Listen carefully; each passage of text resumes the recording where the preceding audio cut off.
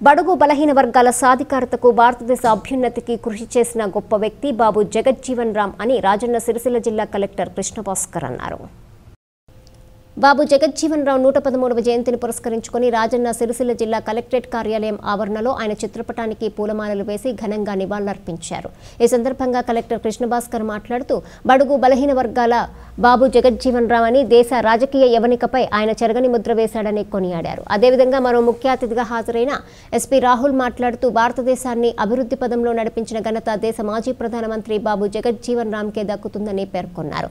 Collectorate కార్యాలయంలో జరిగిన ఈ వేడుకల్లో రాజన్న సిరిసిల్ల జిల్లా అదనపు కలెక్టర్ అంజయ్య షెడ్యూల్ కులాల అభివృద్ధి అధికారి రాజేశ్వరి అడ్మినిస్ట్రేటివ్ అధికారి Gangaiah municipal commissioner Sammaiah DPRO Mamindla Dasharatham జిల్లా వైద్యాధికారి చంద్రశేఖర్ తదితరులు పాల్గొన్నారు.